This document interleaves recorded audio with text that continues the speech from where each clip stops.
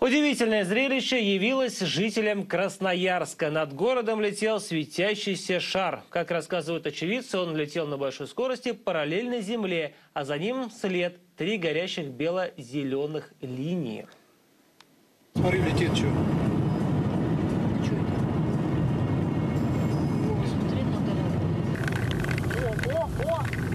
Смотри!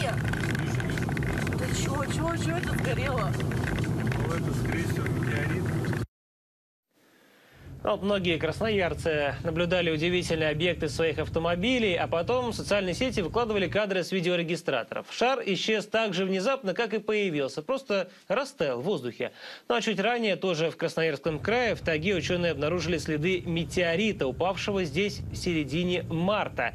Поисками осколков займутся летом.